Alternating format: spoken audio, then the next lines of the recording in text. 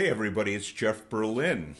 I have a guitar in my hands. This is John McCracken's uh, guitar. He's the producer of Jack Bruce and of the lesson books that I uh, have put out.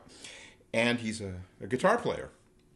And he loaned me his guitar so that I can talk and demonstrate. I can talk to guitarists that don't read music and demonstrate for you how reading music opens up your playing. So I took one uh, written ascending line to the top of the first position and then descending downward. And I want to show you what reading can do for me if I was a guitarist and show you how I might even improvise on these notes. So if you don't read music, I'll guarantee you that this book, my book, uh, guitar, uh, beginner guitar line reading, uh, will help you. It'll add to your ability to get around the guitar neck with purpose. Here's the etude. I want you to hear it. It's really simple.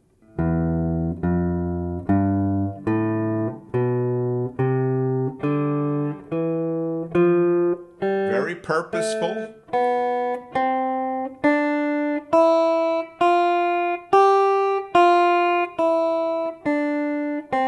Counting. And I'm in time. No metronome for me because I can subdivide. Time is an internal thing. It is not a click thing. I know I'm popular or not popular for saying this, but if I didn't have an internal sense of time from practicing, I wouldn't be able to play this in time. Here's a demonstration that I might improvise. I'm no guitarist, but I could.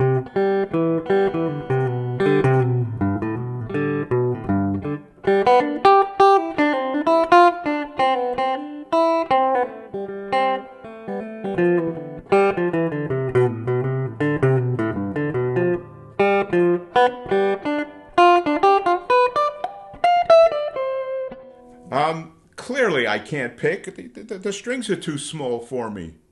But my musicality from looking at notes helps me to solve these things. I could practice in a little bit and get around a guitar quite well. Put some cool pedals on it, and I'll be the best guitarist in the in high school.